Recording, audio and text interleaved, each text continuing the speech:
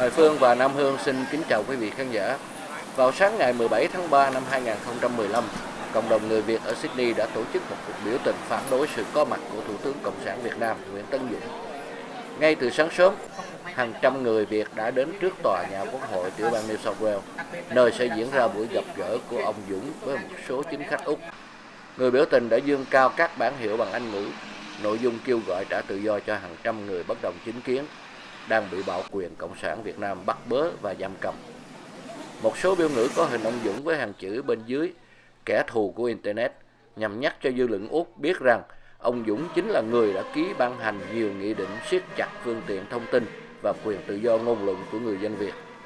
Trong khi đoàn người biểu tình càng đông thêm, thì bên trong hàng rào tòa nhà quốc hội chỉ có một số rất ít viên chức cộng sản đến dự. Và chúng tôi đại diện cho ban chấp hành cộng đồng người Việt tự do tại Wollongong có mặt tại cuộc biểu tình ngày hôm nay à, nhân chuyến ờ, thăm ờ, của Thủ tướng Cộng sản Nguyễn Tấn Dũng đến Úc. À, chúng ta là những người Việt tị nạn Cộng sản, chúng ta bỏ nước tới đây. À, bất cứ những cái tên đầu sỏ nào đại diện cho chế độ Cộng sản có mặt ở đây chúng ta phải lên tiếng và có có mặt. À, là một người phụ nữ ngày hôm nay chúng tôi có mặt để chúng tôi tố cáo cho công luận Úc biết là cái tình trạng mua bán phụ nữ và trẻ em tại Việt Nam càng ngày càng gia tăng và à, chế độ Cộng sản Việt Nam vẫn làm ngơ và không có ngăn ngừa cái tình trạng này và chúng tôi rất là rất là bất mãn và chúng tôi rất là tức giận là cái sự có mặt của ông thủ tướng Nguyễn Tấn Dũng ngày hôm nay tại Úc thưa chị. There is no freedom and democracy, no freedom of speech in Vietnam or in any other communist country. Not a lot of communist country remain, only four left. Vietnam, China, Cuba, and of course North Korea.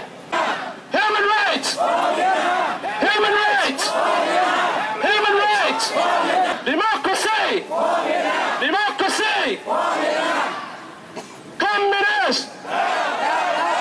chào quý vị Trần Nhân cũng rất là vui mừng hôm nay gặp cũng đông đảo quần chúng. À, người Việt mình chúng ta để để biểu tình chống đối à, Nguyễn Tấn Dũng cái gọi là thủ tướng nước Cộng hòa xã hội chủ nghĩa Việt Nam vậy đó. Qua đây nghe nó gian này ăn xin gì đó đối với nước Úc ở đây.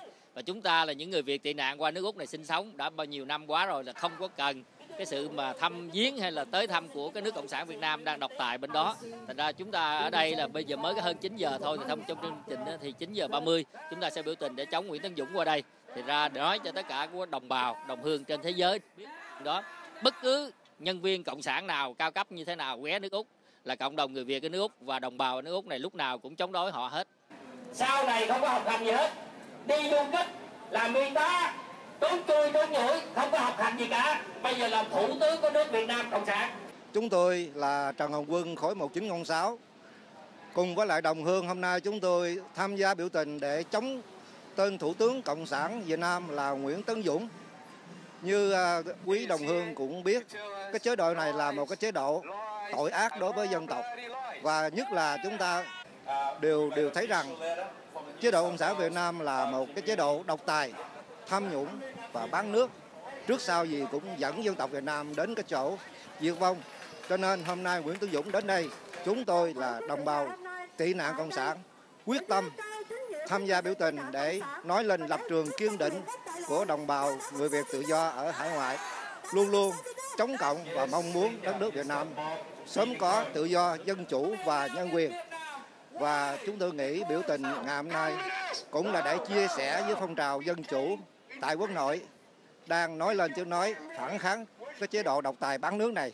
À, tôi tới đây tại con không thích cộng sản tại nó nó láo. Yeah, tại nó thiệt con không hiểu nhiều bằng mấy mấy bác của mấy bác đây. Con chỉ để đây và con chỉ đi uh, cho ba má con. Tại ba má con làm thì con phải đi dùng. Con không có dính líu nhiều mà ông nói, ông nói ông nội con uh, trong uh, quân lực quân lực Việt Nam.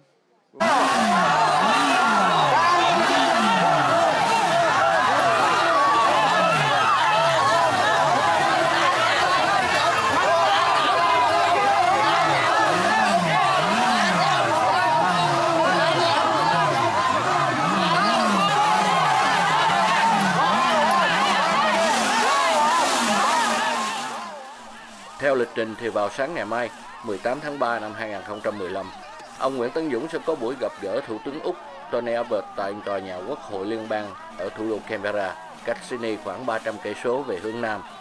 Và cộng đồng người Việt Úc Châu cũng đã chuẩn bị sẵn sàng cho cuộc biểu tình vào ngày mai. Hoài Phương và Nam Hương tường trình từ Sydney xin kính chào quý vị khán giả.